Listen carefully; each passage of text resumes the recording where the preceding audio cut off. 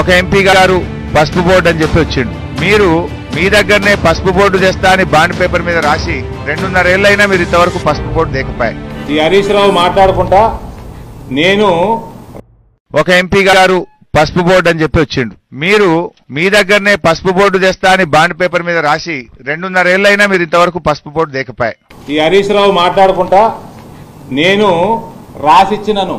పసుపుకి board తెస్తా అని పసుపుకి ధర తెస్తా అని.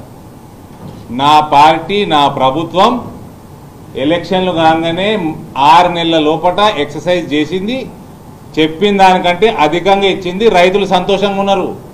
పోయిన సంవత్సరం నాలుగు నాలుగు వేల రూపాయలు క్వింటాల్కి ఎక్కువ సంపాదించారు నీ మామ ముఖ్యమంత్రి అయినాక అన్నిటికంటే ఎక్కువ రేట్లు పసుపుకు వచ్చింది పోయిన సంవత్సరం.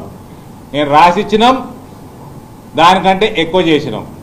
ఫ్యూచర్లో ధర తగ్గినా కూడా నీ మామని లెటర్ రాయమన్నాడు మా వ్యవసాయ మంత్రి లెటర్ రాస్తే అక్కడ నుంచి డబ్బులు ఇస్తా అని లోక్సభలో మా వ్యవసాయ మంత్రి చెప్పిండు. ఇలా రెండు వేల పద్నాలుగు మేనిఫెస్టో. పేజ్ నెంబర్ పది. రైతులకు కనీస ధర ఇప్పించడానికి ప్రభుత్వం తానుగా జోక్యం చేసుకుంటుంది మార్కెట్ ఇంటర్వెన్షన్.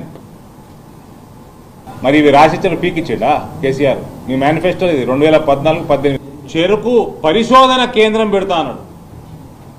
ఈయన మేనిఫెస్టోలో రెండు వేల పద్నాలుగులో తెలంగాణలో చెరుకు పరిశోధన కేంద్రం ఎడబెట్టుకుంటావు నీ ముక్కులో పెట్టుకుంటావు?